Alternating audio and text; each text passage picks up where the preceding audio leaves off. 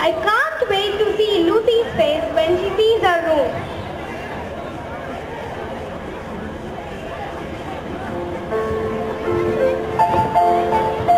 Welcome back, Lucy. I'm dying to hear about your trip. Oh, mistress, that can wait. What have you done to my room? It's so beautiful. Thank you, thank you all so very much. Lucy, this is just a token to show you how much we love you and care you. Come along. Just a minute. Yes, sir. Now Lucy, we have to talk seriously about a few things. Yes, sir. What, what may I ask? It's about your money, Lucy. When we were doing up your room, we found money under your mattress. Your savings, I think. Yes, sir. That is 2,000 pounds there. That's right. Now listen, Lucy. It's not safe to keep your earnings under your mattress. So I advise you to put your money into the bank. Your earnings will be safe there and you will also get some interest on your amount. Is that so, sir? It's okay by me, sir. If that's what you advise, you know best. After all, you're the manager of your bank. Good. Trust me, Lucy. You'll be proud to see your money increase without having to do anything. That sounds wonderful, sir. Thank you. Run along, bring your money, we'll bank it immediately. We'll have a checkbook and a passbook. If you need to, you can withdraw whatever amount you want.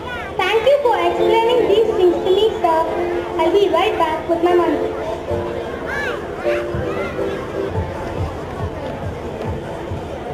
Thelma, Thelma, What is it, dear? Is there anything wrong?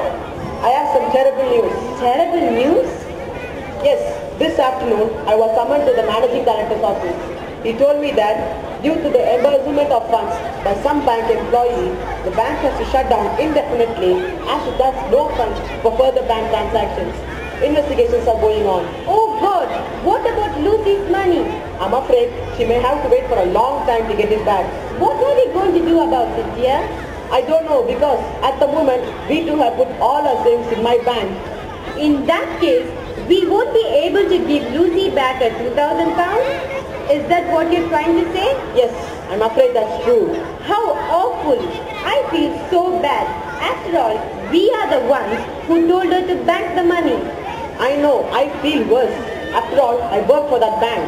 What can we do now? Should we tell her?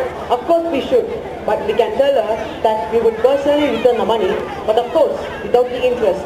Why should she suffer for no fault of? You're right. Let's tell her without delay. We cannot hide the truth from her. Dad, is it true about your bank?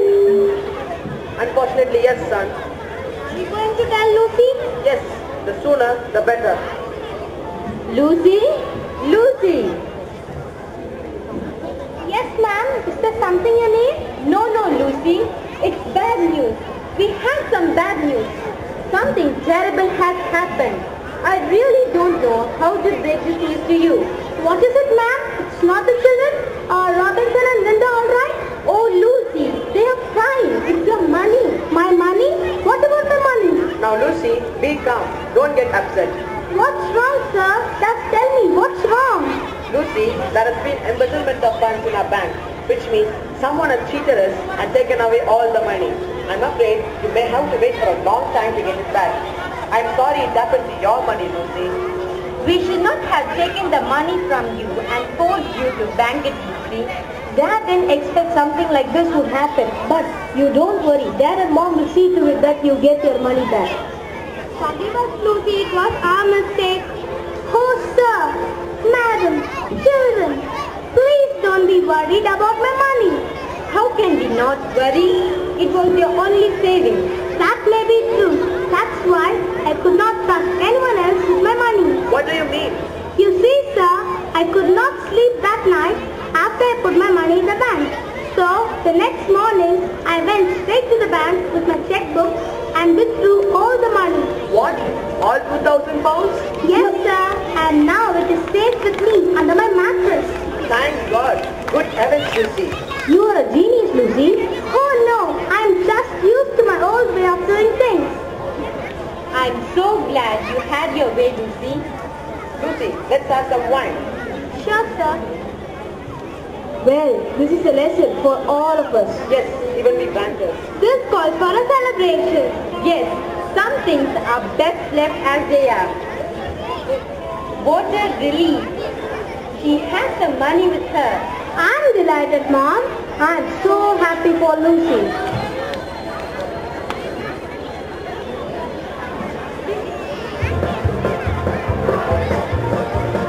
So Lucy, odds well and ends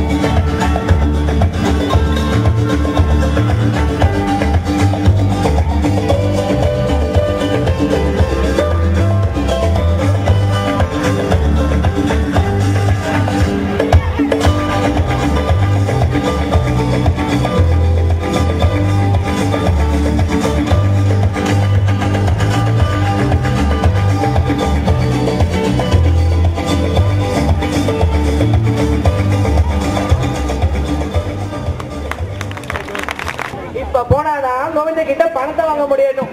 இல்லனா பணம் அவ்வளவுதான். சீக்கிரம் துண்டு கொடைய எடுத்துட்டு வா. பணம்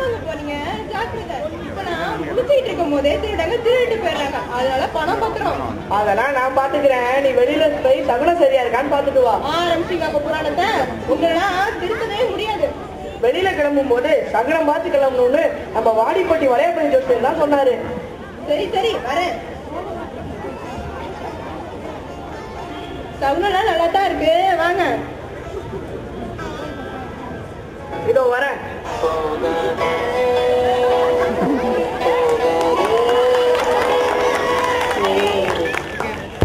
என்ன இது போன நேரத்துல இப்படி அபசகுணமா?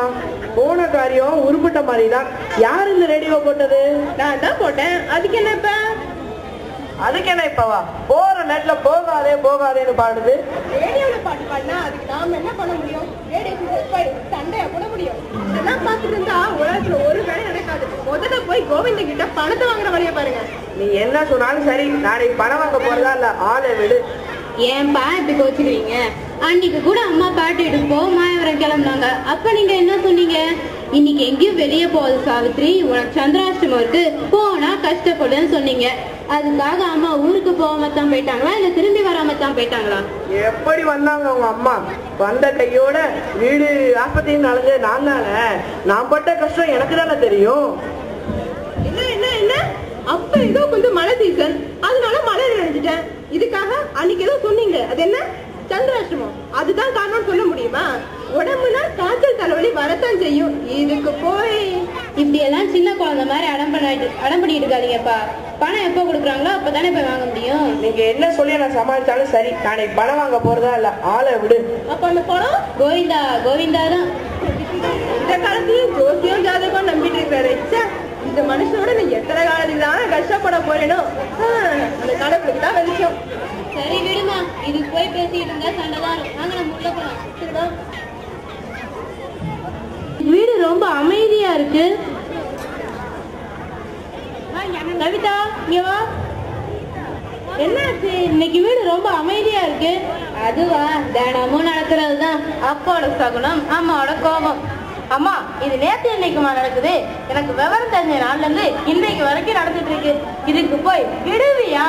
சரி சரி. நான் நாளைக்கு காலையில ஆபீஸ் சீக்கிரமா போகணும். மறக்காம சீக்கிரமா அனுப்பி விடுங்க சரிடா வெளி போடுறேன்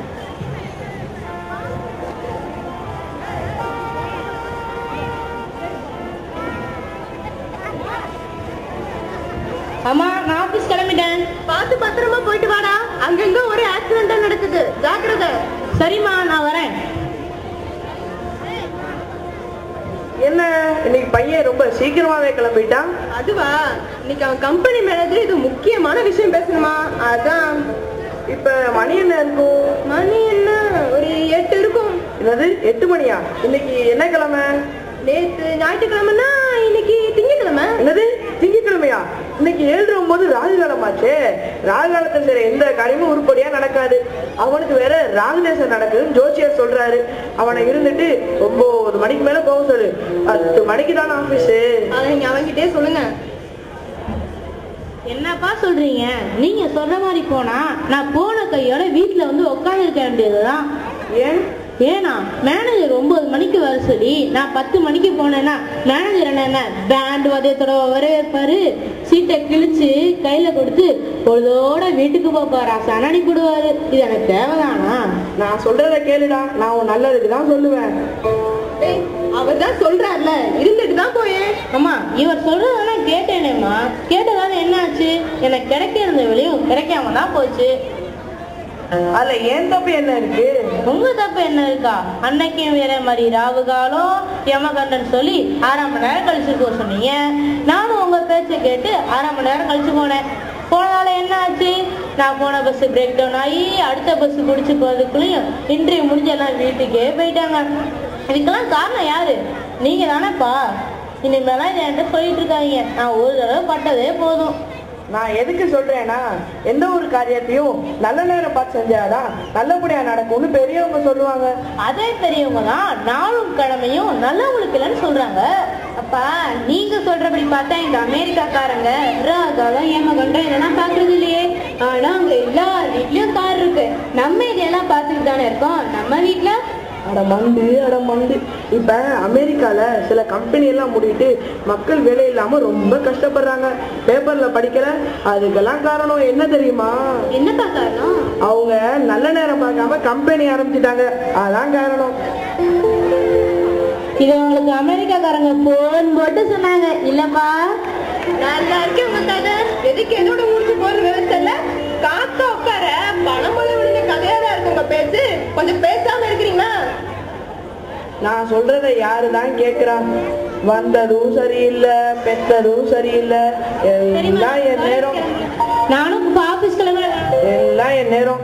அடடா நேரம் சொல்லுவதான ஞாபகம் வந்துச்சு. யாரை கேக்குறது அதோ அங்க ஒரு ஆள் உட்காந்துருக்கான் அவனை கேட்போம். ஏ தம்பி இங்க வாப்பா. வெயிலா இருக்கு. பெண்களை ஏமாற்றிய பலே ஜோசர் கை